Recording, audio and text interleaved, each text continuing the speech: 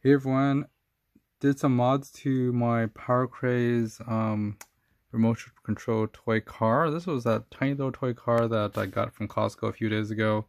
Been playing with it for the weekend and other stuff. It's actually been very, very fun. It's so small and so easy to use. And I mentioned it only takes two AA batteries on this and this thing charges with a USB plug and you don't have to get batteries for it. Anyways, quick thing, quick update. I basically took off the shell, which is very simple. Basically use a like a precision screwdriver set or maybe your eyeglass screwdriver set. You know, it's enough as it needs a tiny little um, Phillips screwdriver.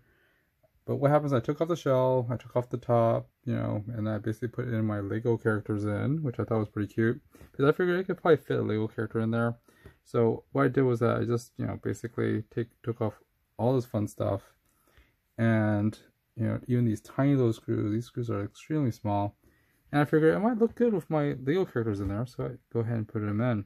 So it looks pretty cool. Um, yes with the act active lights and everything else like that it's actually pretty nice. So this is actually pretty cool. Anyways I just figured I'd give you guys an update and I really like I really enjoy this uh, little $15 toy that I bought from Costco. Um, I have a lot of other remote control cars but yeah.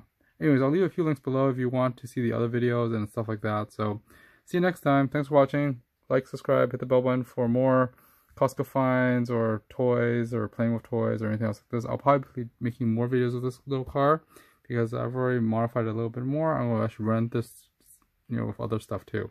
Anyways, thanks for watching, guys. Please like, subscribe, and hit the bell button for more notifications from this channel. Thanks a lot. Bye.